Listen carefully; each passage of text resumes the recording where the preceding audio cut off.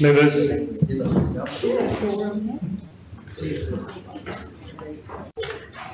members, the Right Honourable the Lord Mayor.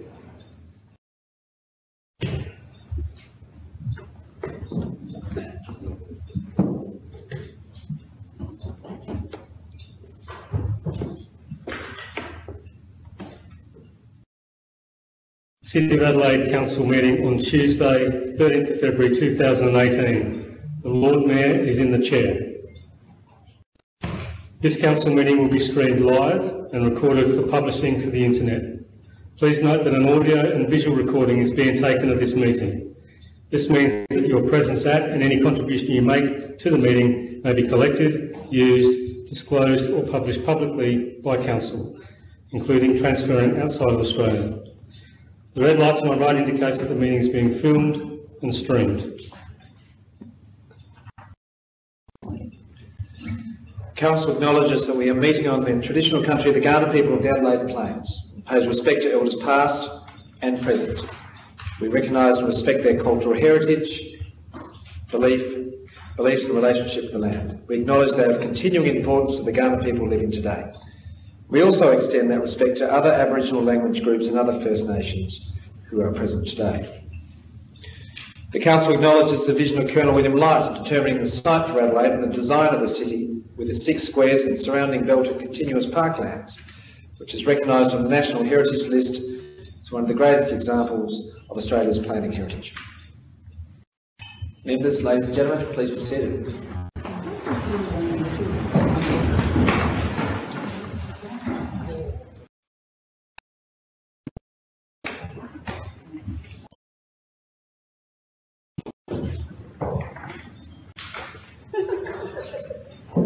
Members, item three, apologies and leaves of absence. Uh, on leave, we have uh, no members, but we have an apologies from three members, Councillor Corbell Moore, Councillor Abiad and Councillor Malani. Members, before we proceed with our agenda proper, I will bring to your attention that a couple of items have been withdrawn from your agenda this evening, members, and that is item 7.4, power outage support for ratepayers, and also the motion on notice from Councillor Moran, which is item 10.1. CEO, I believe you'd like to speak briefly about the item 13.1, uh, which is the confidential matter.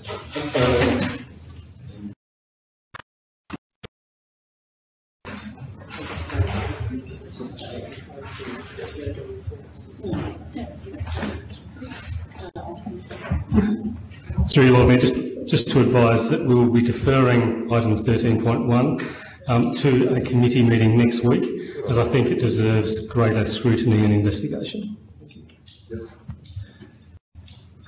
Thank you, members, and thank you for your flexibility. So, members, I will then proceed to item four, which is confirmation of minutes, of which you have uh, two prior meetings to confirm the minutes and adopt. Meeting held on the 28th, the 11th, and meeting held on the 30th of January, moved by Councillor Martin. Can I have a seconder, please, members? Councillor Moran, any questions or queries about those minutes, members? Summing up, Councillor Martin. Members, I'll put this before you. Those in favour to adopt? Those against? We carry and we adopt the minutes from both of those meetings. Thank you very much. Uh, members, we on your papers you will note through from 5.1 to 5.4 a number of deputations and public forums. 5.4 has withdrawn, so we have three, being a deputation firstly from Mr Rod Stoller, proposed ice rink event at Victoria Square. Mr Stoller, are you with us? No, so I'll proceed to item 5.2, which is a public forum from Rachel Healy, the Adelaide Festival Program Brief.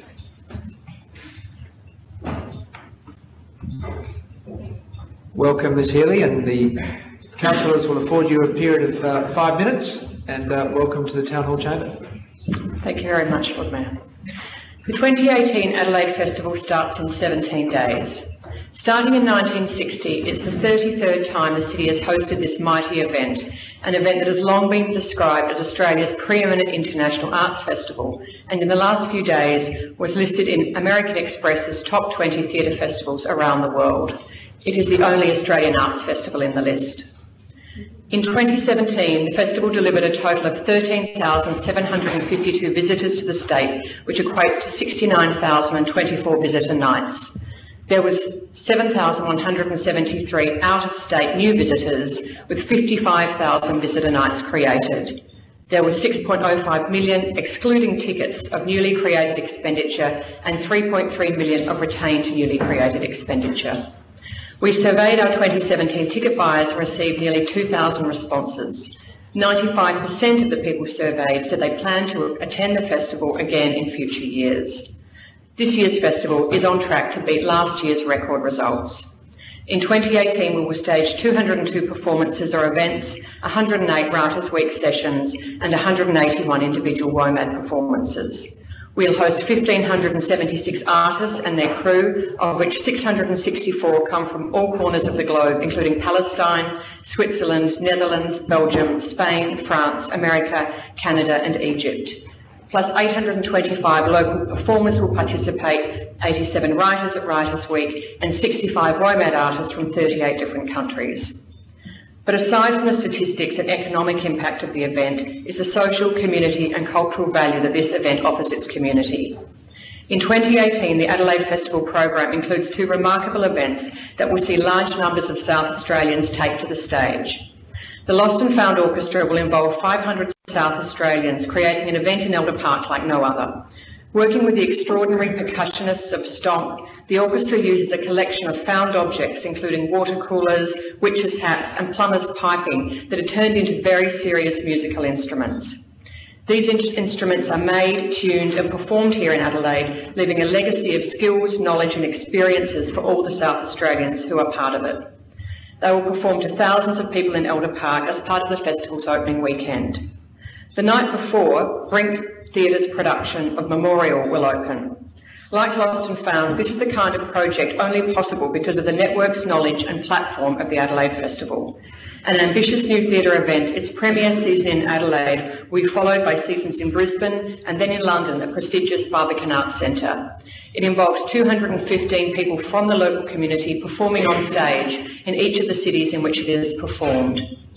These events will play alongside a carefully curated international program which offers Adelaide audiences and its visitors a taste of the most imaginative, acclaimed and thrilling works from all over the world. It's hard to put a value on those experiences, sitting in the quarry moments after the Secret River had concluded, for example, but talking to audiences and receiving their letters, it is very easy to comprehend the value that our community feel that the festival is offering and the value it's given to people's lives here. And for the political tragics in the room, if this council chamber doesn't offer quite enough political manoeuvring, brinkmanship and treachery, don't miss Kings of War from Toneelgroep Amsterdam at the Festival Theatre. It's had rave reviews in the New York Times and has been compared to House of Cards in its study of power in the 21st century. It's really not to be missed. Finally, this is Adelaide's oldest and most prestigious festival, and Adelaide, the Adelaide community are justifi justifiably proud of its achievements. It takes a village to raise a child, but a city, its community, its government and its businesses to share a vision for building an event of Adelaide Festival's international reputation and stature. I look forward to seeing you all there. Thank you, Ms Healy, and we wish you every success with the 2018 program. Well done. Members, we have a deputation from Mr Ian Vagg regarding the Adelaide Oval SMA boundary revision application, item 7.3 on your papers. Mr Vagg, welcome to the City of Adelaide Council Chamber. Councillor, thank you, Lord. You're here in five. In 2013, after about six months of uh, conciliation and negotiation in the licensing court, the Adelaide Oval SMA was granted a licence, quite a generous licence by the standards of the day, which certainly allowed them to conduct the events uh, and sporting fixtures that they wanted to do.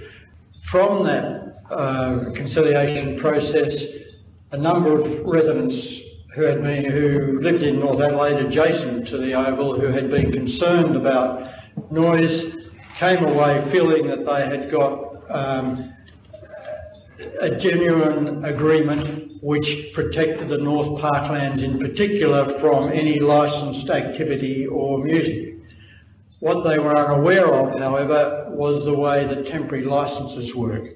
And the Uh, SMA very soon after started applying for temporary licences which allowed them to serve liquor and, and, and carry out entertainment on the eastern concourse outside the east gate and in the northern car park. Um, I understand that whilst there was entertainment on the eastern concourse, uh, there was never or hardly ever any on the north car park. Um, to be fair, this went, has gone on since then and there have been no complaints and the residents were not aware this was happening. Uh, so it's not been high impact. The, the Commissioner, however, got sick of issuing temporary licences and last year told them they had to make this permanent. The, um, therefore, in September, the SMA made an application for a permanent licence. However, they didn't just ask for what they said they wanted, which was the same conditions as a temporary licence.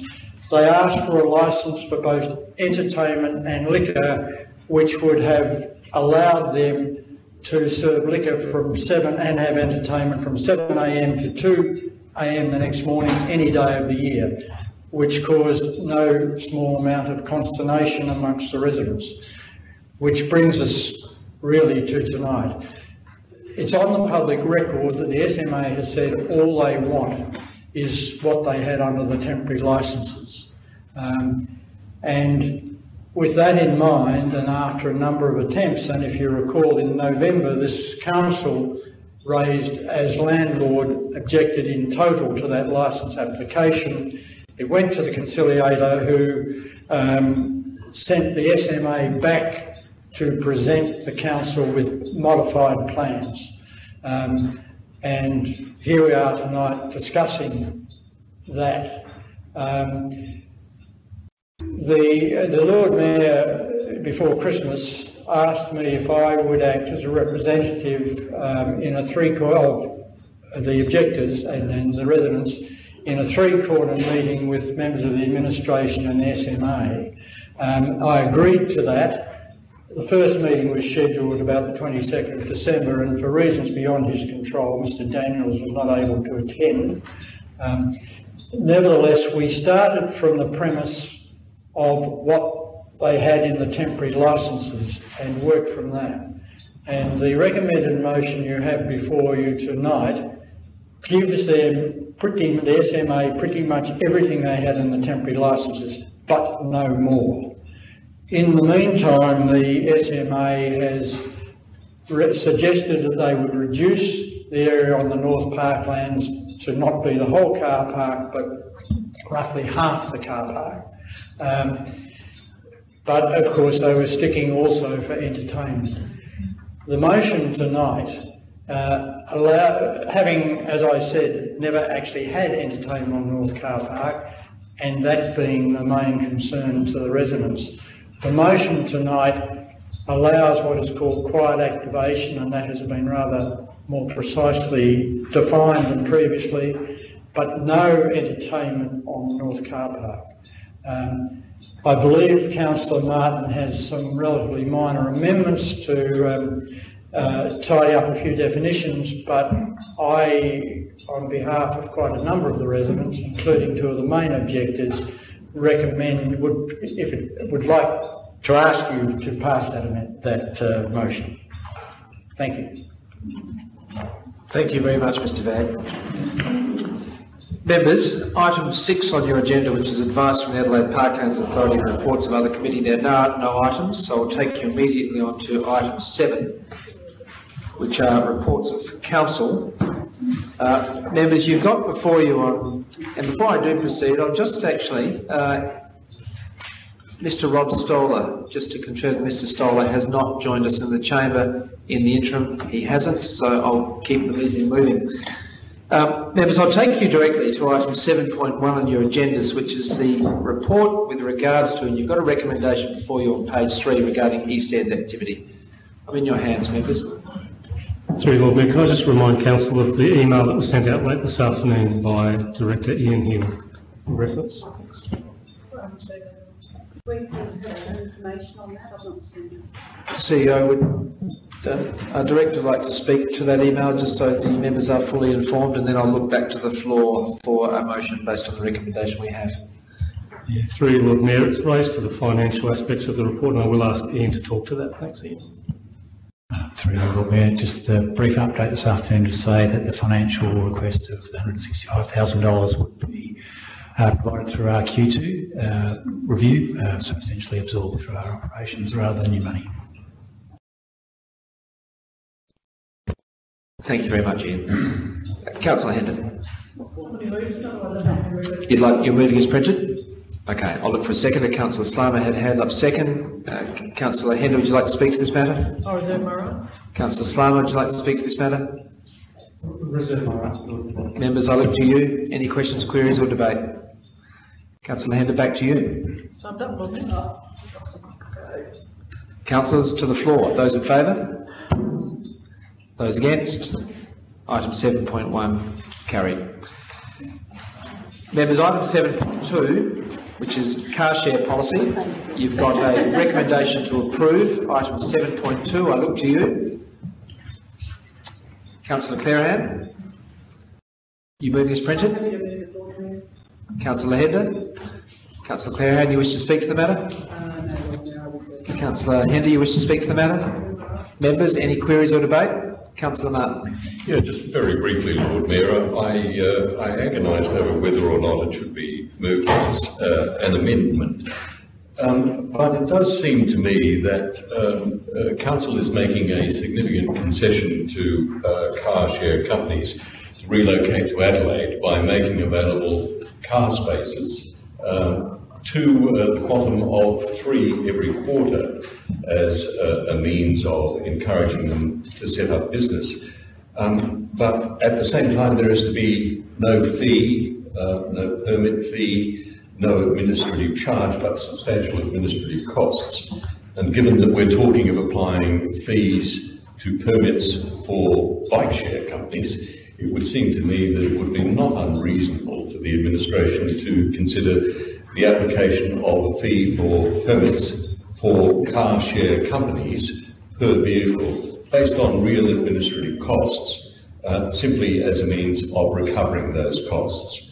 Uh, again, I repeat, there is a substantial incentive provided by the city, that is giving up a car park that may generate hundreds a week, thousands a year, uh, and uh, that should be sufficient. Uh, so, uh, can I ask the administration, could we consider uh, investigating a cost recovery fee for car share? CEO. Yeah, through your Lord Mayor, it's intended that initially it would be free of charge, I understand, but every year as part of the budget process, we set our fees and charges. It would certainly be a factor in that consideration, so we'll be able to do that annually. Thank you. Members, do I have any further debate regarding this matter? Councillor Hender, you reserve your right. Councillor Clearihan, you moved. Back to you. Summed up, Lord Members, I put this before you. Those in favour? Those against? We carry item 7.2. Members, that takes us directly to item 7.3, Adelaide Oval redefinition of existing special circumstances licensed area. Councillor Martin, you are Moving a uh, variation, Will it won't be the, moving a variation or alternate motion, councillor? alternate motion, I beg your pardon, Lord. Okay. And uh, Councillor Martin, uh, before I seek a seconder, I'll just, um, uh, if you could please confirm for the benefit of your fellow elected members that what is on the screen in red represents the changes that which you are making to the recommendation. Uh, That's correct, Lord Mayor. Uh, Those words in red uh, represent the changes, except in respect of uh, 11, which I suggest is not necessarily an amendment. Uh, It was simply a note to correct a typo. Um, So uh, the amendments are in 6, 8 and 10, and I'm happy to read them if uh, that would suit the Lord Mayor. If you could please, um, this is relatively new, and uh, then I will foreshadow that I'll look to Councillor Clearihan, who had her hand up, but I'd like the members to be very clear about what they're debating. So if you could please read that. Yes, thank you, Lord Mayor. Um, it is a variation to the recommendation of the administration at page thirty-one. Six supports the redefinition of the special circumstances licensed area subject to the conditions as at attachment D to item 7.3 on the agenda for the meeting of the council held on 13th February 2018 being included in the special circumstances license in addition to the conditions already attached to the Adelaide Oval Stadium Management Authority Special Circumstances Licence 512099495, comma, along with the provision that liquor may only be sold to and consumed by persons who hold valid admission tickets to the event on the Oval. Eight, authorises the CEO or delegate to advise the Liquor and Gambling Commissioner that Council does not support the granting slash issuing of limited licences for the sale and consumption of alcohol within the Adelaide Oval Stadium Management Licensed Area as at attachment E, brackets, Stella Bowen Park, including the North Car Park, close brackets, to item 7.3 on the agenda for the meeting of the council held on the 13th of February 2018 outside of the redefined circumstances licence. And 10 authorises the CEO or delegate to advise the Adelaide Oval Stadium Management Authority that council will not grant landlord consent within the Adelaide Oval Stadium Management Authority licensed area as at attachment E to item 7.3 on the agenda for the meeting council held on the 13th of February 2018 for the use of Stella Bowen Park, including North Car Park, by the Adelaide Oval Stadium Management Authority for the sale and consumption of alcohol, excluding Area 2 as delineated on the map as at attachment B to item 7.3 on the agenda for the meeting of the council held on the 13th of February 2018. Thank you, councillor Martin. Councillor Clearihan, you're seconding, so yes. Councillor Martin, back to you, three minutes. Thank you, Lord Mayor. Look, um, let me just reiterate uh, again that there is a typo at clause 7 of attachment D, and I'd ask the administration to fix that by simply adding the word "sale" immediately in front of the police. Uh, Lord Mayor, uh, I want to congratulate uh, you, uh, the administration, and residents who, as Mr. Vagg explained, have worked together to create an agreement which I think is a compromise, the best possible compromise under the circumstances. Uh, this uh, recommendation and the amendments are not the end. They will simply go to the Consumer and Business Services area and the Liquor and Gaming Commissioner to be considered at a hearing and considered as the Council's position. Now, I've come to this uh, position myself of putting forward the motion and the amendments with uh, a great deal of reluctance because I think uh, Councillor Moran is right. Um, this is, uh, it represents creep. Um, there's no other way of describing it. Um, personally, I, I, don't trust that the SMA will leave it at this. I think they'll keep pushing uh, and they'll always want to push for more. It's a business and the business is selling alcohol and providing entertainment. Um, now, uh, faced with a, uh, a decision of uh, the stick it up your nose approach, or alternatively, um, by making a decision to support the recommendation with some amendments, uh, was a dilemma. Uh, and frankly, uh, I decided that it is much better to be able to try to influence the process than simply say, no, I'm not going to participate. Now, this way we're putting forward a series of conditions to give the SMA what it wants. That is uh, two areas outside of the oval for people to have a drink, 500 in area one, which allows for quiet activation, and 300 in area two, um, with trading hours that are linked to when the oval is open and no later than 2300 hours. Uh, the amendments are firstly an acknowledgement of the circumstance of which the SMA says it wants to change its licence, that is to be able to sell liquor to people who move outside of the Oval and have a drink at some stage, whether that's half-time, interval or whatever. Um, and then uh, it also, through the amendment, that is uh, the, the addition of the words liquor may only be sold to or consumed by persons who hold valid admission tickets to the event or oval, formalises that very position. That is, it is people who are attending the Oval who can make use of that facility. And it addresses the concern I know some people have that without there's the possibility of carloads of people turning up simply to have a drink. Mayor, may I, may I have uh, just a, I'll look to your fellow members for comfort. thank you. Yes, you have it. Two more minutes, councillor. Now, um, uh, somebody asked me, how does that work? Uh, how is it possible to administer that? It's pretty easy. Um, it's done in similar places, uh, or events rather, like WOMADelaide. You go outside, uh, security reminds you, you need your ticket to get back in, or alternatively, you can have an elephant stamp or whatever it is on your wrist. Um, it is not a major administrative effort. It's a simple process to administer. Now, um, the last two amendments are about making the wording absolutely clear, because the wording is not as clear as I and residents would like. Um, we stipulate that we are talking about area two that extends over part of the hardstand car park, and that area must not extend onto the Stella Bowen Park, including the car park, outside of the area which is shown in the papers here tonight at attachment E on page 52. It's just a matter of making the words more precise. Now, um, of course, the amendments will need to be reflected in the attachments, and I'd ask the administration to do that if this is successful. Um, but I'm asking members if they will support this. It does represent, as I said earlier, the best possible compromise under the circumstances. It is one that the residents will see as reasonable, and I'm hopeful that the Commission and the SMA will also see it as a reasonable outcome. Thank you, councillor Martin. Councillor Clearihan, you seconded the motion. Do you care to speak to it? Thank you, Lord Mayor. I won't go over the details that have, um, that councillor Martin has just presented, except to say I want to thank you, our administration, and Mr Ian Vagg, and those residents that have come to the table. I think this is how it should be done, uh, and I really appreciate uh, the good intent of all parties to come to some sort of compromise.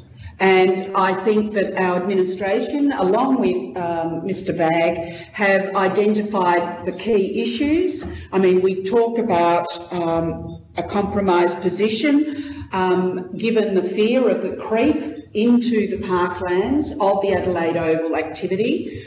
Um, some have called it a Trojan horse. Well, I think this compromise actually probably re represents a shackling of that horse um, because the conditions that have been put up to present to the uh, Liquor Licensing Commissioner, I think are fair and reasonable and I think will address the major concerns, including the issue around um, amplified music and hours of operation. So um, I just want to say again, thank you very much to all those parties who came together with good intent and have come up with a reasonable compromise that everyone can live with. Thank you, Lord Mayor.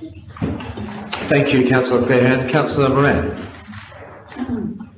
Yes, I, I thank um, the two councillors that moved and seconded it, but I, I won't be supporting um, this motion. Um, I think we have to go right back to first principles. Um, this is for smokers. There's plenty of room in the Oval to have a drink and sit down. This is to accommodate the dwindling number of smoking people. Um, the Oval, uh, quite rightly, or uh, gains a lot of cachet from advertising itself as a smoke-free zone. Now, I think this is a, a, peculiar way of doing it by bulging out into the parklands, not the Northern Car Park, the parklands, to allow them to have their cake and eat it too. I'd say that they, if this goes through, they relinquish their smoke-free zone, which they won't do. Um, they had a smoking area inside an Oval too, but of course they couldn't call themselves a smoke-free venue then. So they had to come up with this uh, this rather convoluted way of having, as I said, having their cake and eat it, eating it too. And not to, not to forget that this is gathered round the northern and the eastern gates. Um, I'm sure they're not actually in a direct line of the gates, so you don't, you can't walk through the licensed smoking area to get into the oval, but it's right there. I don't know any other area that this council, who has made smoke-free zones in North Terrace by the hospitals, um, smoke-free zones to access and egress in major events um, that would agree to this.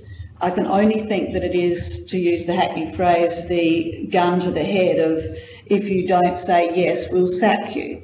Um, I think that's a disgraceful way that the SMA has behaved, and I hate to think that we took any any uh, that got any traction with us. Um, I was on council when the original agreement was made, the licence uh, lease agreements, and it was never countenance that they would extend out of the hard area of the stadium. Everything would be faced inwards.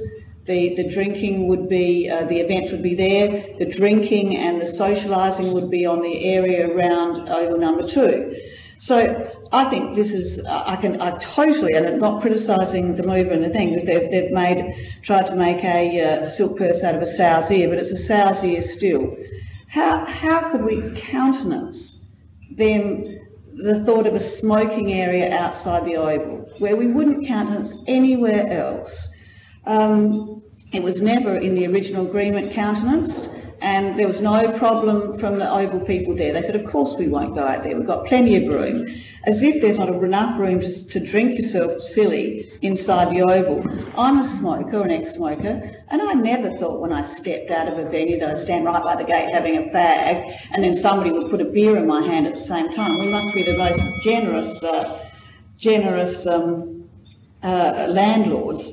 But don't, don't respond to this gun to our head. We are quite within our rights to say, no, this isn't in the lease agreements, you can't have it, and I can assure you, we will not be sacked.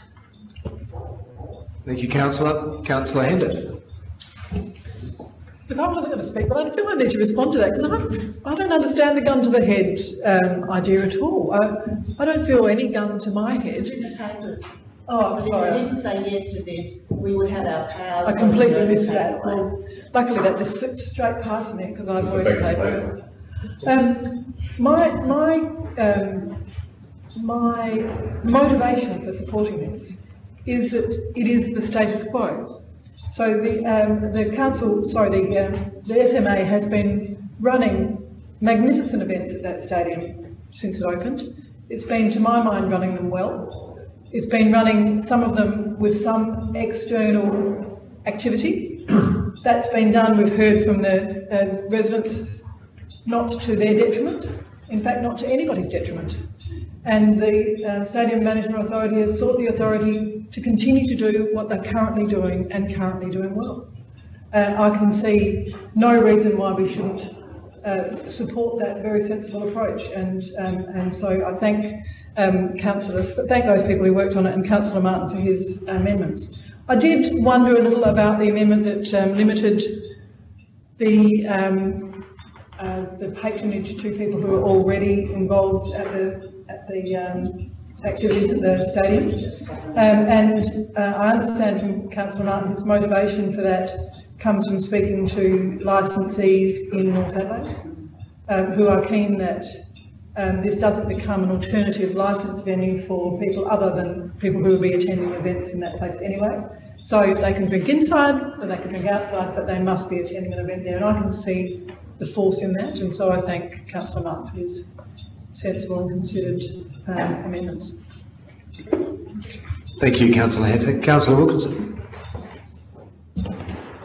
A clarification from the administration. Uh, on page 46, part- paragraph 1.9, talks about areas marked 1 and 2, uh, where the activity uh, in the oval finishes at 11 p.m. or, or whichever is the earlier. Originally, they were seeking to be able to trade here till 2 o'clock in the morning and stuff like that. So am, am I correct in my reading that uh, because one of the things that um, Councillor uh, Martin's motion doesn't refer to is the loss of trade to hotels in North Adelaide. The whole deal that was put to us was that uh, that they would benefit from people after games. But but from my reading of this, they they cannot. As soon as the game's finished, the doors come down. They can't keep serving alcohol. Is that correct? Or, or can they continue to serve alcohol some time after a game has finished where people will drink there in lieu of businesses in North Adelaide. CEO. Uh, Vanessa, thanks. Um, through the presiding member, um, the sale and consumption of liquor, what we're recommending, so the attachment I think that the councillor is referring to is the conditions that were proposed by the SMA. Um, and we've made a slight amendment to that condition to refer to when events can start, to, um, when they can start the sale of liquor, um, but it must cease at the time at which the activity on the oval finishes or at 11 pm, whichever is earlier. So if the event um, goes beyond 11 pm, the sale and consumption of liquor would still need to cease at 11 pm in those areas. And the activity being the game itself, not, not some other post-match. That's right, whatever's happening on the oval. So if the activity finished earlier, then the sale and consumption of liquor would need to finish earlier in those areas. Okay. Well, I'm quite vexed with this, and I was was of the view that we did the deal with the State Stadium Management Authority to keep the outside area to the south, the city side, keep it away from residents, and really wasn't of a mind to entertain it at all. But that limitation on the hours such that they can't trade after the game, either in the oval or outside the oval, that does mean that people at the at the a whistle blows will have to leave and go. They want to keep drinking, then, then they'll go and patronise businesses in North Adelaide and the city, which is what we wanted to have happen, so they wouldn't just corral all that themselves. So that does give me some comfort for those interests, because that was the original deal. Um, and uh, I think uh, the uh, amendment from Councillor Martin about it only being available for people who'll be going to the game anyway means you won't get just people who are smokers wanting to watch it on a big TV there rather than at a licensed venue somewhere else in North Adelaide or the city. So I think that uh, that amendment actually uh, uh, would, would, would work provided it is enforced. So um, I, I think on the strength of that and that the residents themselves are, are happy with the uh, with this final resolution. Um, uh, I, I, wouldn't have been happy with what was originally put to us, but I think with these refinements and all of the work that our administration done to sort of um, uh, shackle a horse, you might say, um, it's, um, uh, uh, I think it's something which I can uh, accept.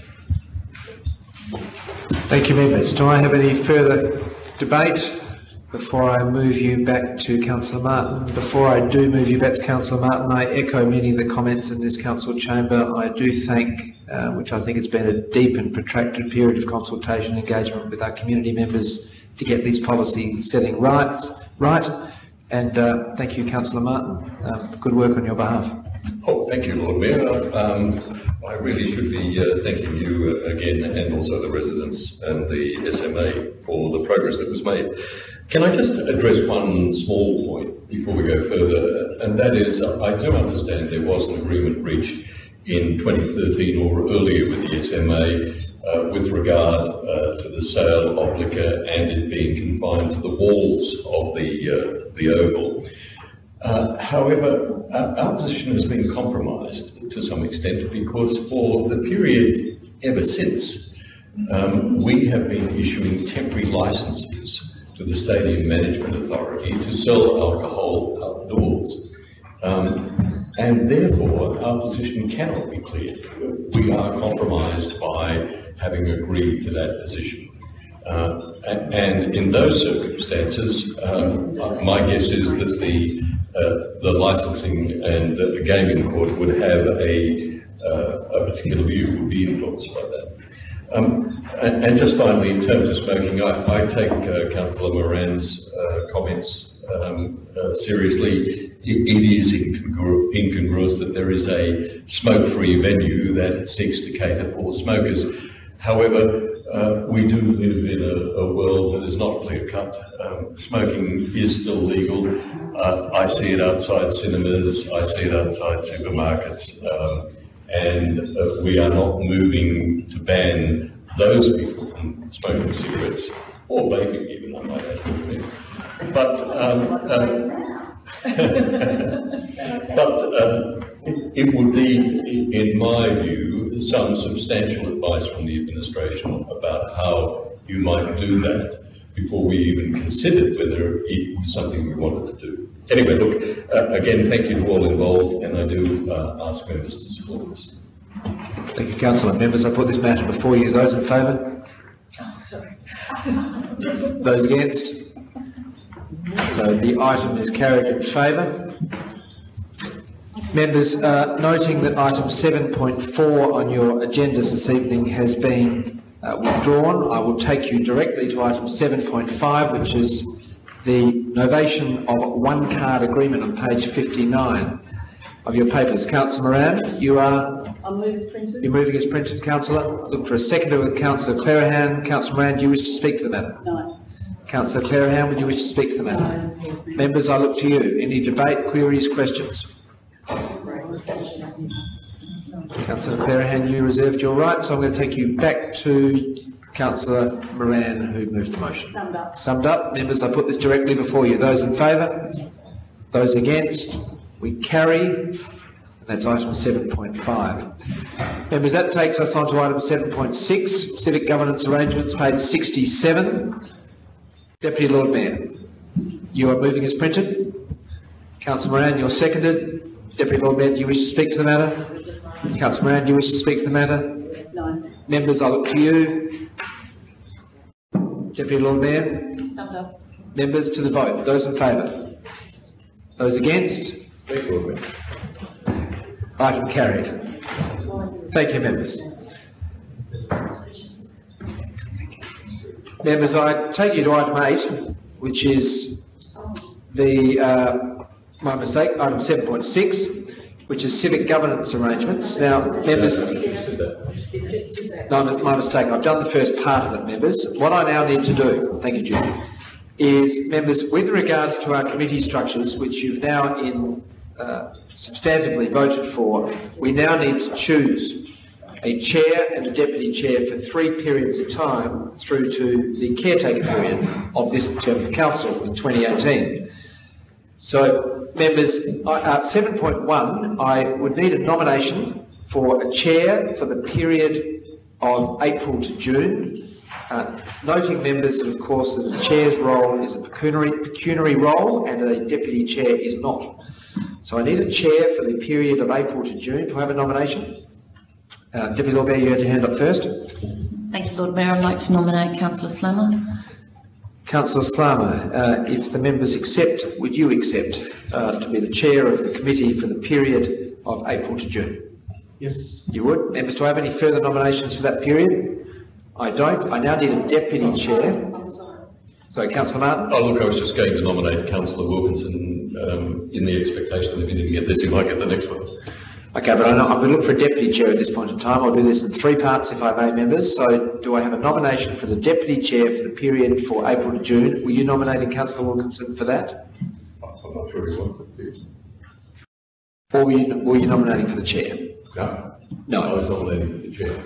Of the chair. Noting, of course, councillors, that you've got three periods here. I'm going to be asking you to vote for a chair for the period April to June, July to September, and then October and November. You get three bites of the cherry, members. I'll withdraw my nomination and make it clear cut and nominate councillor. Thank you very much, councillor. I now, I do though need a deputy chair nomination for the first period, which is April to June. Nominate councillor Javier. I need someone in the room, councillor Moran. Well, I'm happy to be nominated for deputy chair. It's not pecuniary, is it? No, it's not. And it's just standing in when someone's missing. That is correct. I'm happy to do that. Okay, so, uh, members, I need someone to nominate.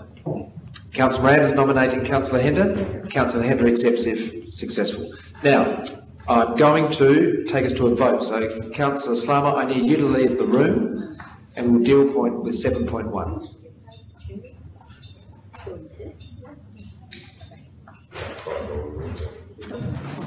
Members, can I please have a motion from our member to move that, please? Councillor Clearihan, seconded by the Deputy Lord Mayor. I'll put this before you. Those in favour? Those against? We carry. If we could bring Councillor Slama back in the room now, members, and I'll then proceed, when he's back, to the second part of the equation this evening, which is item 7.2, which is for a chair for the period for July to September. So I need a nominee. Councillor Martin, I nominate councillor Wilkinson. Councillor Wilkinson, do you accept? Should the members vote in accordance? You do. Do I have any further nominees for that period? I don't. So members, I now need a deputy chair for the same period. Councillor Martin? Uh, I nominate councillor Clearihan. Is deputy, happy to do deputy. Thank you, councillor Clearihan. So councillor, do I, councillor uh, Wilkinson, I need you to leave the room while we vote on this matter.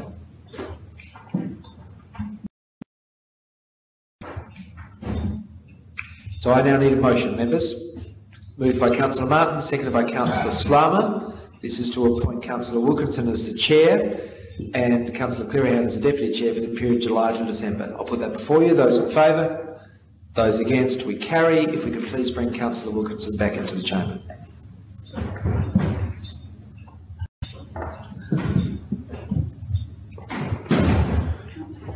Welcome back and congratulations, councillor. Member, we, members, we now get to item 7.3, which is uh, the same process again for a shorter period, being October and November. So, nomin- Deputy Lord Mayor.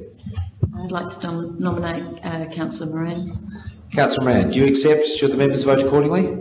Does it get the same pay for the long period?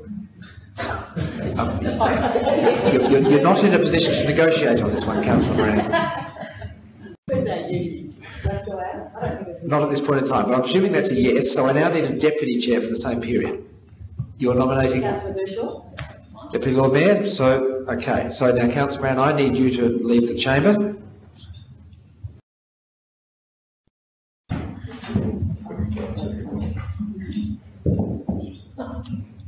And members, I look to you for a motion.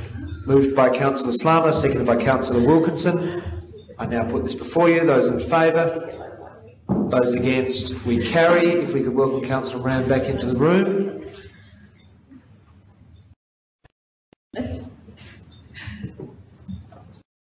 And members, thank you for that. That now concludes item 7.6, which is our civic governance arrangements for the period. Thank you, thank you. Members, there's a supplementary prize of steak knives. Um, members, we also have a chair and a deputy chair for, just take advice, please, members.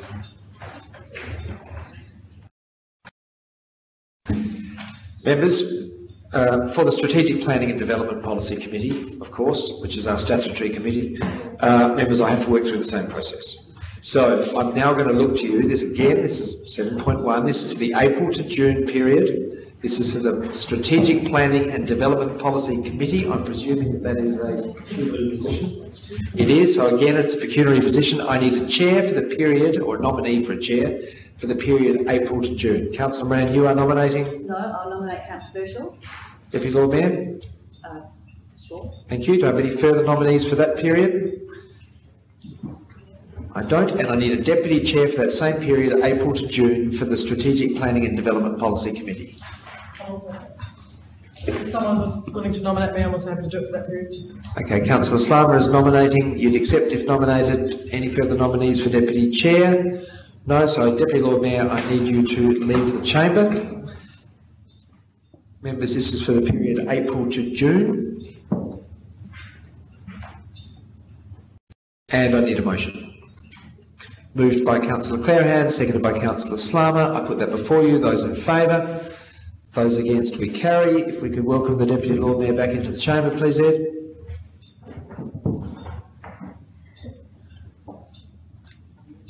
Thank you, congratulations. Members, now we look to the same period, oh sorry, my mistake, the same committee but a different period, which is July to December. Do I have a nomination for Chair? Councillor Slama, you are nominating. Councillor Clearihan. Councillor Clearihan, do you accept? Do I have any further nominations for that period, members? I don't. I now need a deputy.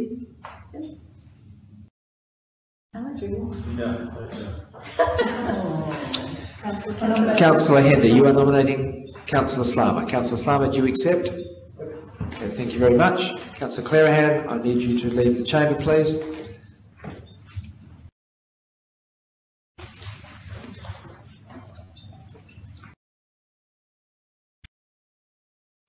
And members, can I look to you for a motion, please? Moved by councillor Moran, seconded by councillor Martin. Members, I put this all before you. Those in favour? Those against? We carry. If we could welcome councillor Clearihan back into the chamber, please.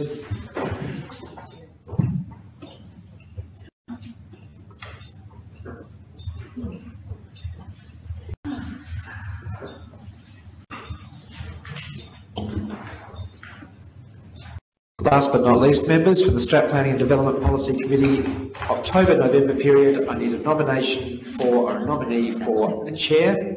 Councillor Slama? Councillor Wilkinson. Councillor Wilkinson, do you accept, should you be successfully voted upon?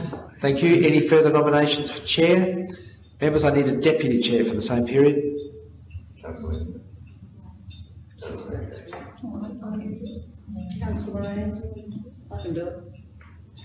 Councillor Clearihan, you are nominating Councillor Moran. Councillor Moran, you accept?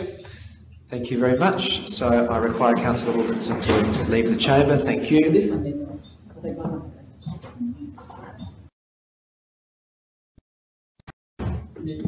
Members, can I please have a mover of a motion? Moved by councillor Clearihan, seconded by the Deputy Lord Mayor. Members, I put this before you. Those in favour? Those against? We carry. If we could welcome councillor Wilkinson back into the chamber.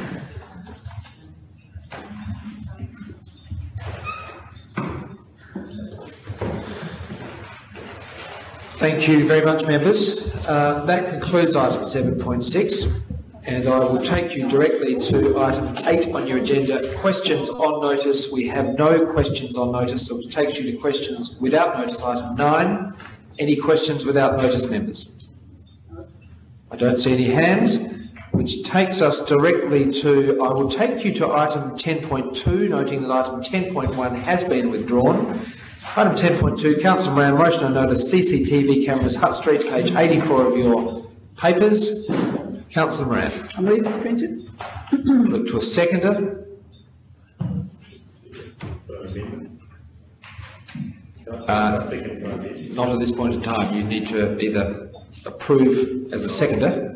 Um, Lord Mayor, perhaps I could explain. I would like to invite, um, I want to slightly change number two, and um, I've spoken to my, to um, councillor Antic, and he can request a variation to second. Okay, councillor, um, you can't vary your own motion, given Oh, there was a motion on notice, but what we can do is that you can, we can secure a seconder, and then you can have a suggestion for a variation from the floor, or it can be amended should you wish.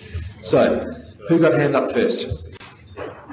Oh, I think it was councillor Antic, and I apologise, councillor Wilkinson, but councillor Antic was, uh, I think, first up. So, councillor Moran. I still don't quite understand. I want to change in number two, uh, sorry, in three, to establish to investigate. Okay, so what I, what would need to happen procedurally is you would need your seconder or another member from I the think floor be my ultimately. seconder to suggest that. Okay, He suggested that, I'm accepting that as a variation. okay, so could we be very clear about what we're debating now, please? Uh, part, Councillor Moran? part three, instead of establish, I'll change to investigate on, um, on advice from the administration. Understand. So we're doing that as variation, members. Do I see general comfort from the room with regards to the change of that single word? I do, thank you. The floor is yours now for the debate. Thank you. Look, um, I, I don't think, um, we need to, um, really, um, say any more about the problems, well, to expand on the problems in, um, the, uh, southern section of Hutt Street. Um, it has been discussed in the media and I know that the council discussed it between themselves. The situation has got, rapidly worse. I used to live near there and I thought when the residents and businesses were saying things to me, that it was the same old problem. But having gone down there myself and, and uh, spoken to them, it has suddenly become a lot more acute. Um, I think, as we've said, it's probably the, um, the ice, the drug ice addiction suddenly hitting um, some people that aren't homeless. I spoke to the homeless people who are scared to go down there because of the, um, the violence and the criminality down there. So look, I'm not going to suggest a panacea for all evils, but um, what would make, um, some people are putting their own CCTVs in, um, but of course, these are reactionary. They're good. I mean, very handy. But what we need, as, as we had uh, spoke to the police the other day, we need some monitored cameras. um, down there so that, um, you know, there can be a quick response. And um, the meeting we had with the police, while they're a little bit uh, overloaded, they were, they said, well, you know, that they supported cameras. Um, the original report from Councillor Antic's was to put 12 down there. Um, I think that's deemed excessive. I was asked by the Deputy Lord Mayor what the magic number five was, and I, I really don't know, but it's less than 12. It'll put three on one side of the street and two on the other, but um, uh, that could be jiggled when we could afford more or put them in uh, in a stage thing. But I think the CCTVs in this, and I'm not a big CCTV fan. It's it's a um, um, it's something that I think is needed in this very specific location. Um, the second um, section part of it is. Um, Oh, sorry, the first part is to, we noted the previous decision. The second part is to put CCTVs. The third is to look at um, an incentive scheme that can help people afford having their own CCTVs in this specific area, businesses and residents. Um, in speaking to the police and speaking to the residents, they long ceased reporting a lot of the activities. Just while I've been sitting here, um, a lady's texted me saying that uh, she was screamed at in a very abusive way just an hour ago. She was frightened. Um, she said they didn't touch her, but what do I do? I can't really report it because I don't want the police, I don't need the police to come because it's finished and I suppose you're being yelled at obscenely. But we've, um, in talking to the residents, businesses report everything. They don't realise they can. They only think they can report something if they want police attendance. Um, but as the police told us in our um, workshop, report, report, report, report, so they can get a dossier. and We don't face that irritating, oh, well, there's been no blip in the, uh, um, you know, in the reports when you know that there, you know, there have been a change in behaviour. Also, I think it was very interesting uh, meeting the police, and I think we should do that more often. Thank you, Councillor Moran. Uh, Councillor Antic, you seconded the motion. You wish to speak to it? No, I just briefly, Lord Mayor, a lot of that which Councillor Moran has already said is very relevant.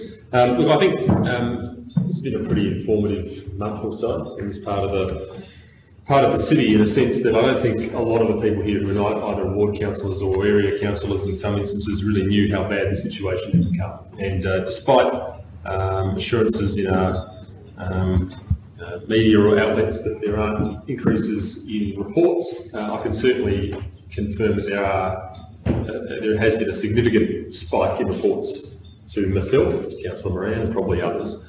Um, these are not um, incidental incidents. They are very often very serious criminal offences, aggravated assaults. Uh, there was a stabbing, despite the fact that it's been reported uh, otherwise. Um, it's uh, been clarified from other means that, uh, that there certainly was a stabbing down there. And in any event, um, should uh, it be the case that somebody has become so intoxicated or drug affected that they've fallen over somewhat inexplicably and landed on a broken bottle, stabbed themselves, Lord Mayor, strikes me as being pretty dire in any event. So um, let's be very clear about this. This is not a witch hunt. Um, this is not uh, an opportunity to uh, throw stones at the vulnerable or whatever it may be that the, you know, the leftist media wants to point it out to be. Um, it is simply a, uh, an issue of security and an issue of safety. It's not an issue that's going to go away.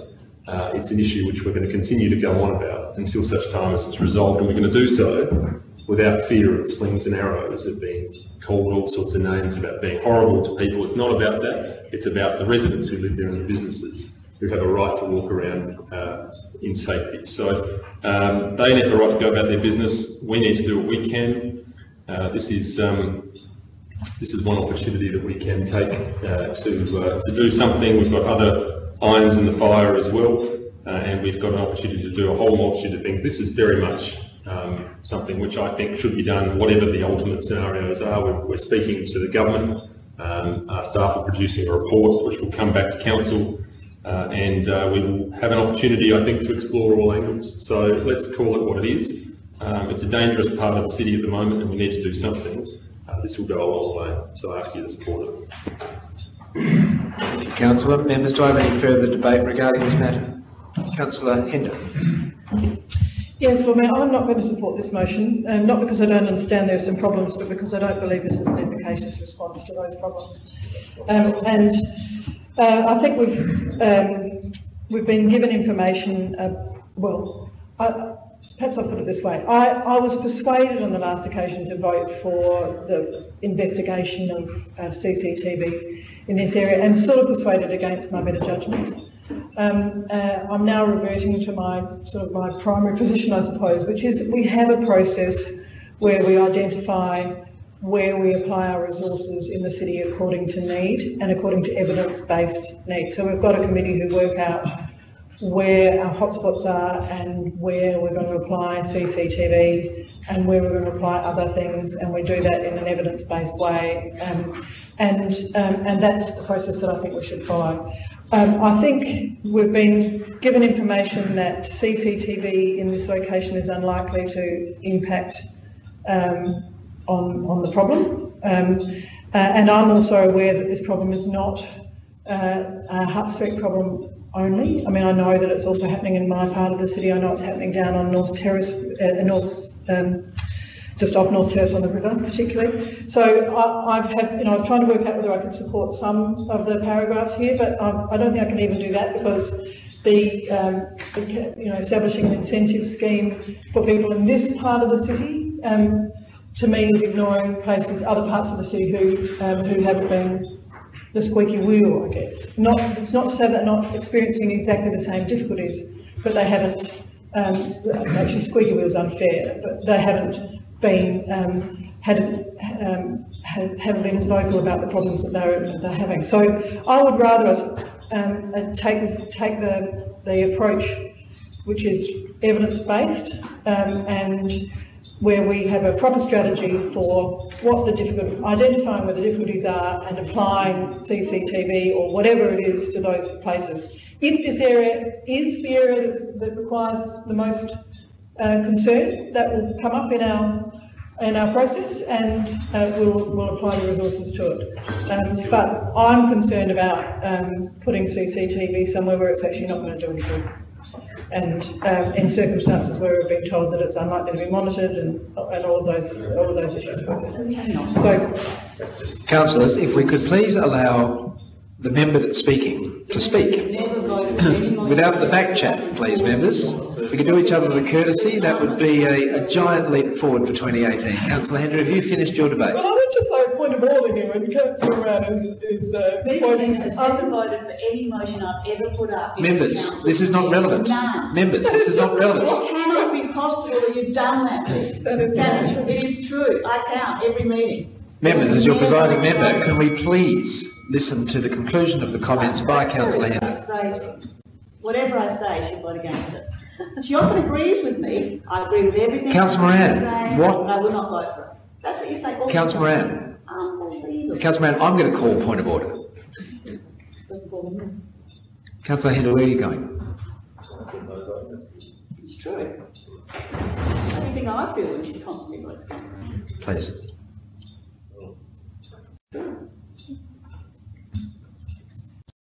Members, do I have any further speakers? Councillor Martin, followed by Councillor Wilkinson. Yeah, look, uh, Lord Mayor, I'm just wondering whether or not we ought to uh, suspend the meeting for a moment so that we can all gather our composure. Councillor Martin, I will keep this matter proceeding. It is our last substantial matter of the meeting.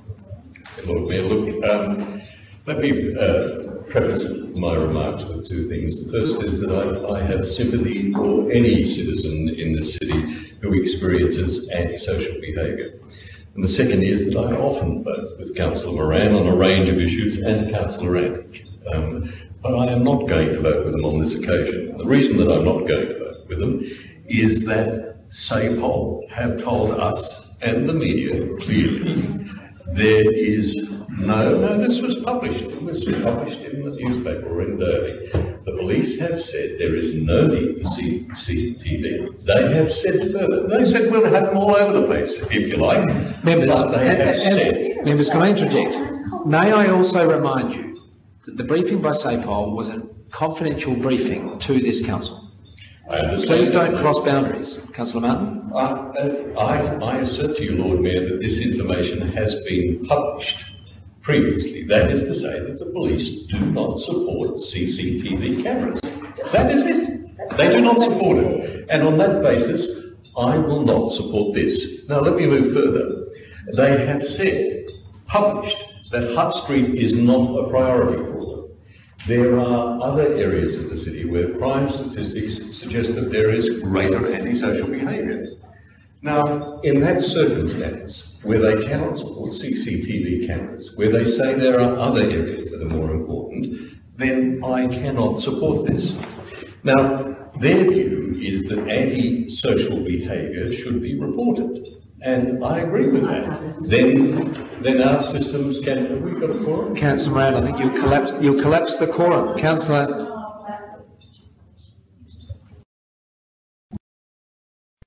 Councillor Martin? Do we have a quorum? We do have quorum.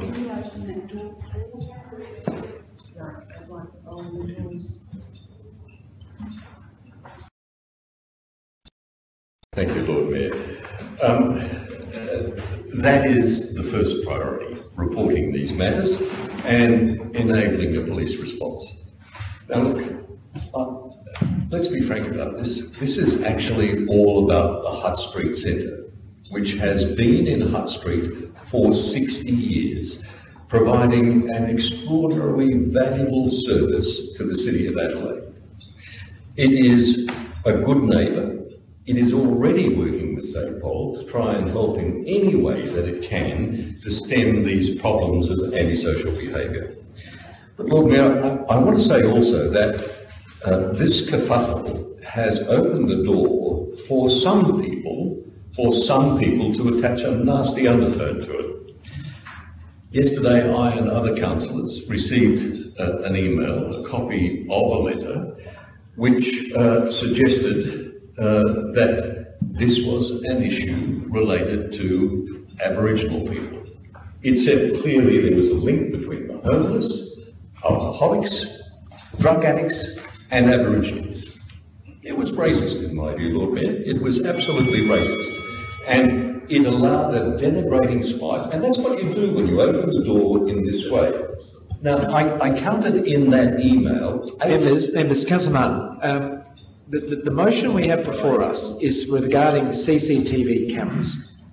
Absolutely, Lord Mayor, and I'm explaining to you why we should not entertain the prospect. Moreover, I'm saying to you that the kind of debate that's being fostered here has created an environment that allows every nutbag and racist in this city to attach their particular gripe to it. Uh, look, it, it, it's enough to sicken you, Lord Mayor. It, I, I, I I'll leave it there. I, I'm not going to uh, expand further on it, but I would, would say to you, Lord Mayor, that this needs to be nipped in the bud. There needs to be some leadership shown in the city. A matter that is primarily a police matter should be left to the police and kept right out of this council. Councillor Clearihan. Lord Mayor, I would like to move an amendment Certainly, councillor. um, that council establish a working party of key stakeholders to investigate the extent and nature of crime and antisocial behaviour in the Hutt Street precinct. And that this working party develop a multifaceted response Councillor, I'm sorry, I'm going to ask you to slow down. We're going to need to capture this. Are you looking to add a point five? So council one, establish a working party. Sorry, councillor Clearihan, are you looking to, to maintain points one, two, three, and four in the motion and add a point five? Add a five, please, Thank you. If you could read that slowly, please, we will capture that on the screen. I'll then look for a second. Yes. Council one, establish a working party of key stakeholders to investigate the extent and nature of crime and antisocial behaviour in the Hutt Street precinct. And two, this working party Slow down, councillor, please. Yep. develop a multifaceted response to the identified issues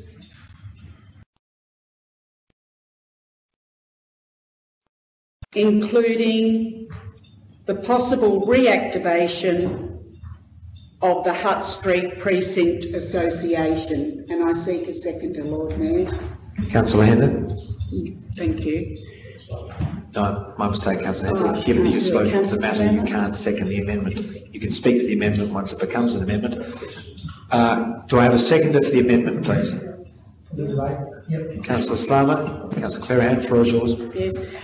Thank you, Lord Mayor. Look, I don't deny that there may be some issues in um, Hutt Street, as there are all across the city. Um, but I think we have to be very, very careful that any strategy we undertake is a collaborative one. It doesn't necessarily fall in, as the, into the responsibility of one agency, one person, or one mechanical device. We need a whole lot of strategies to address any issues that have been identified. And that's what worries me. If I can't get this one up, I'm not prepared to support it because I know from my work in the past, you do not depend on one device, be it a digital technology, technological device. It is just not as effective as having a multifaceted strategy. And that is why I'm putting this amendment up. The other thing is if the police are working with the council, the Hutt Street, um, what's it called? Hutt Street Centre? And other, and residents and, and, the, and people on the, in the precinct, we will not be able to have a concerted effort. To put in five CCTV cameras and stand back is not going to address the issue sufficiently. From what I've seen, there are some issues there. I wouldn't deny it. But we have to be sensible. We have to make sure that what any of the strategies and any of the money we spend is evidence-based, as Councillor Hender has already stated. And we cannot rely on CCTV. It is a false premise that it will solve any of the issues. If we really want to solve the issues, let's get the right people together to work on this and then report back to council. I've not asked that it report back to council, but I'm happy to add that to my amendment, if that's possible.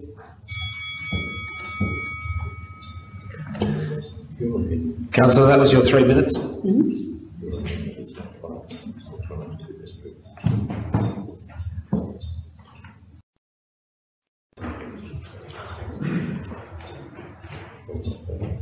Councillor Clearihan? Could I ask that the working party report, report back to council uh, at the earliest possible convenience on its proposed strategies? I would need to look to your seconder and the general comfort of the room to proceed on that basis. Thank you, councillor Slama. Do I have the general comfort of the room, members? I do. Thank you, Lord Welcome Mayor. back, councillor Moran. So, now, councillor Slama, we're dealing with an amendment. Uh, councillor Slama, you seconded the proposed amendment. The floor is yours. Thank you, Lord Mayor. I, I think it's good.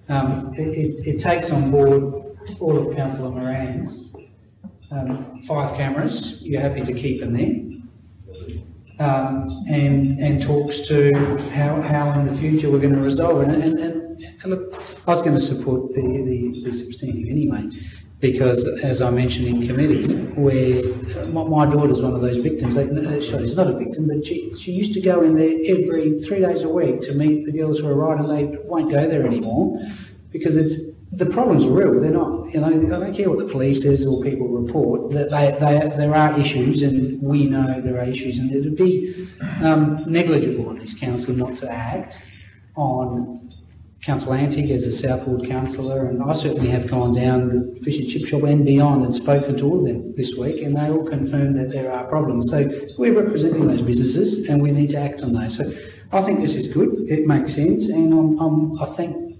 Councillor uh, um, Clearihan for, for those two extra points. I think that's a smart way of, of moving forward. Thank you, councillor Slama. So members, you are debating an amendment which is the inclusion of points five and six. Councillor Antic, you had your hand up previously? Um, start with a question, Lord Mayor.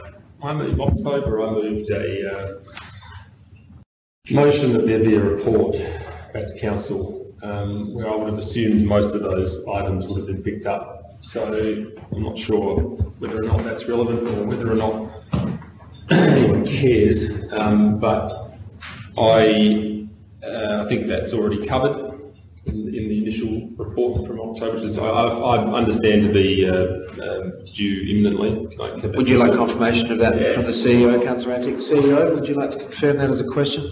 Through the mayor, I might just ask Claire to clarify. Um, through the presiding member, the motion from councillor Antic last October asked us to look at a range um, of different elements, including addressing the vacancy rates, um, addressing the perception of safety, um, and looking at how the general amenity of that precinct can be improved.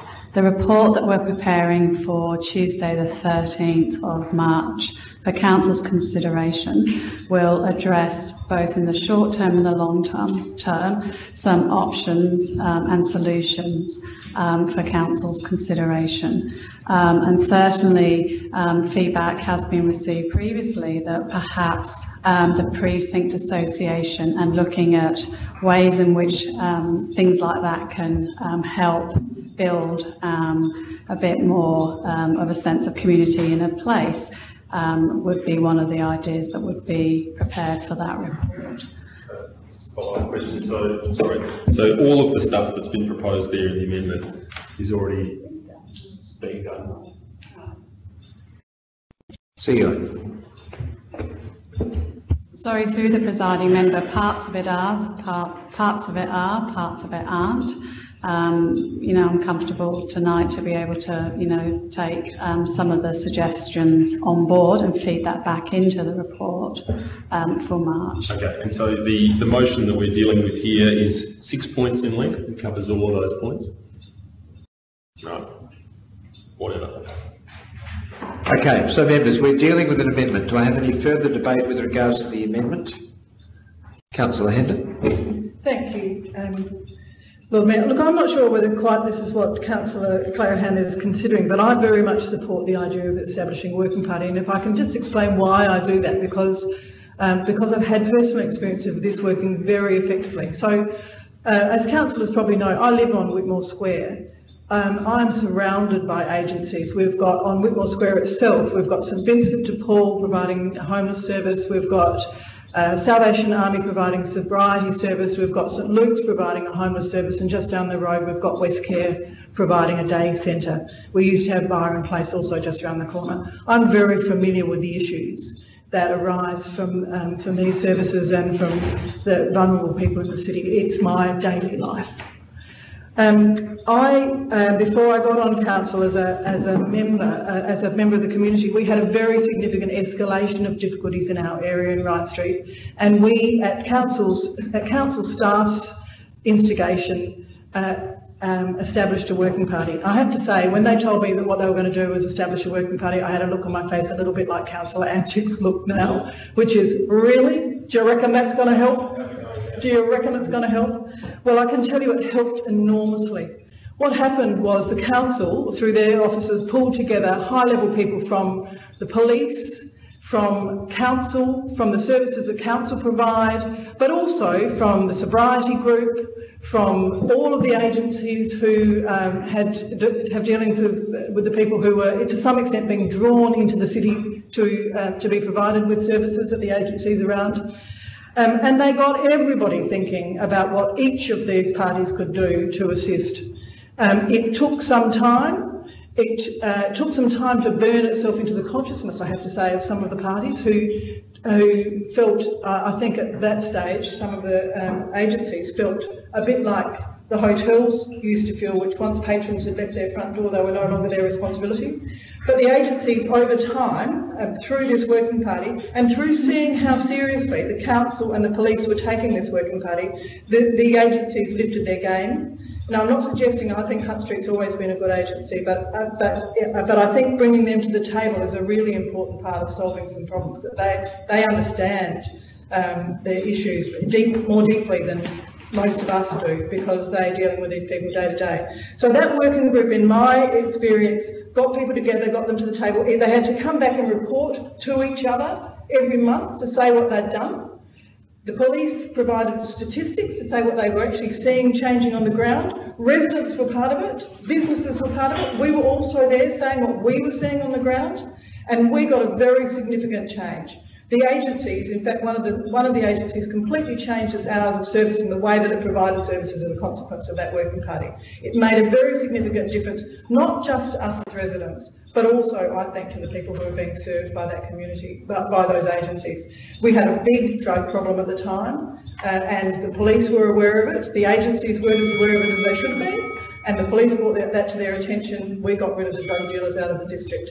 Uh, that working party was the most effective thing that I've seen in uh, in dealing with um, with the issues that, that we're faced with in Hutt Councillor, that's your three minutes. Are you looking for additional time? I just have a couple of extra seconds. Members, I look to you. Yes, please proceed. So I, I believe this, this, um, these last two paragraphs are what will make the difference. And that, you know, I understand that some councillors have a different view to me. I don't believe that CCTV makes a difference. And one of the reasons I don't believe that CCTV makes a difference is because I was part of that working group where I was told by the police that that wasn't going to do the, wasn't going to be the thing that did it. What was going to be the thing that did it was everybody who was involved in this, everybody who cared about what was going on in that community, getting in there, putting their heads down, trying to work out how to make it better, and all of us working constructively and cooperatively to achieve the aim that we all wanted, safer streets, better housed people, a happier community. I, I fully support those last two paragraphs and, and I'd love it if somebody was, if we were able to take it in parts so that I could throw my weight behind what I believe to be the most effective solution. Thank you very much, councillor Hender. Now, members, we are debating proposed amendment from councillor Clearihan. Do I have any further discussion about the amendment? Councillor Clare, councillor Martin, you'd like to speak to the amendment? Look, only to voice uh, support for it, Lord Mayor, this seems to me to be the most appropriate response. That is to identify the problem, who the stakeholders are, and then to begin a process, which may or may not include CCTV cameras, but is the consequence of a concerted effort. Uh, I will support this uh, on the understanding and the expectation that uh, it would be plainly ridiculous to implement two CCTV cameras before establishing a working party, which may or may not arrive at that conclusion. So, uh, yes, I will support this on that basis. Deputy Lord Mayor. Uh, Thank you, Lord Mayor. Um, Look, I support the amendment, but I I also support the substantive, um, including the installation of the CCT cameras. Um, The reason that we have got a CCT camera network in the city is because they do work, we know that they work, and it's not that our administration isn't already working with SAPOL on this. Um, I think that there has been, uh, which I did ask some questions prior to coming in here, I think there's been considerable thought and attention paid to it by administration. I know that they've been involved in lots of discussions uh, with the people on Hutt Street, with SAPOL, uh, with the Hutt Street Centre, and that there is a um, deterrent from the CCT cameras also being able to uh, capture and record what is actually happening in the precinct. I also support the working party, um, and because, as you said, it's multifaceted, I do think CCT cameras are part of that delivery, uh, but also working with all the stakeholders. So I'm, I'm happy to support uh, the entire six points. Thank you. Thank you, DLM. So, members, I take you back to councillor Clearihan and move the proposed amendment. The floor is yours to sum up on your proposed amendment. Look, thank you, Lord Mayor. I just wish to add that um, I wouldn't support this without the amendment because there's no point in us buying cameras if the police aren't prepared to monitor them. Um, however, it's my compromise position. I will support them on the basis that it's part of a whole suite of strategies that address the issues uh, once they've been identified and, and defined.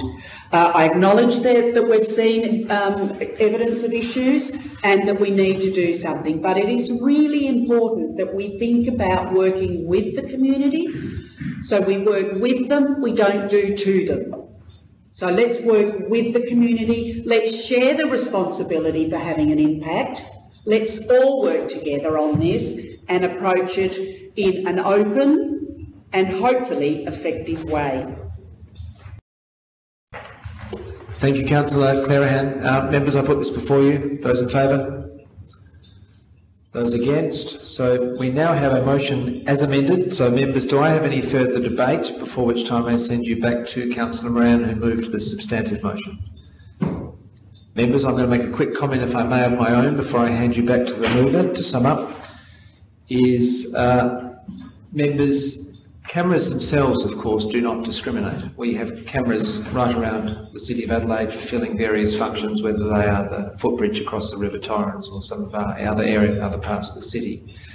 Um, and I agree with the sentiment, members, that cameras by themselves are not the panacea. However, I'm sure they will help, and I think that's what the debate here is today.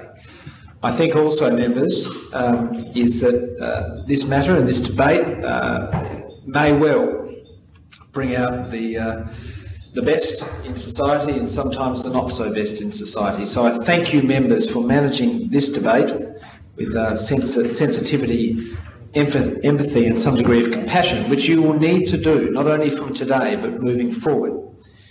Uh, this is a delicate matter, members. Uh, you're acutely aware of that, and um, no one from this council chamber has even vaguely insinuated that the Hutt Street Centre is not delivering extremely important work in the City of Adelaide. No one's suggesting that. Um, but what we do is we've got behavioural issues uh, within that precinct and we can't ignore them. And uh, these cameras may help that, um, but however, uh, partnerships with the centre itself, with SAPOL, with local residents, property owners, business community and ourselves is the best shot we've got in terms of solving this issue. So, members, I'll hand you back to Councillor Moran. Members, I'll put this before you. Those in favour? Those against? Motion carried. Judy? Those members voting in favour of the motion as amended, please rise. Councillor Moran, Councillor Wilkinson, Councillor Slama, Councillor Antic, Councillor Martin, Councillor Clearihan and the Deputy Lord Mayor. Okay, motion carried in favour. Members, I'm going to, uh, CEO would like to make a comment. Through Lord Mayor, just with item five, just want to confirm that we'll be bringing back a terms of reference and membership of that working party as part of the report on the 13th, just so you know. Okay, uh, members, uh, given that item 13.1 uh, has been moved to a um, future committee meeting, which I suspect will happen quite soon. Uh, CEO, do you have any other matters you'd like to address to the members?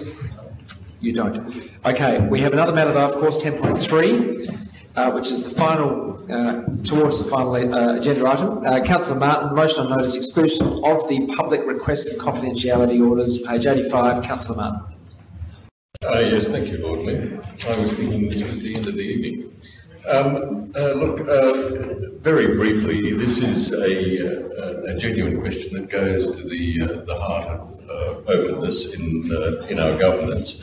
Um, the catalyst is a, a ratepayer who, Lord Mayor, you may know, uh, who expressed the view that this council is much Councillor, I'll just, I'll pull you up there, and you're moving as printed, I presume? I am. Right, can I have a second, please, members? Oh, sorry for the debate, Councillor. Councillor Wilkinson.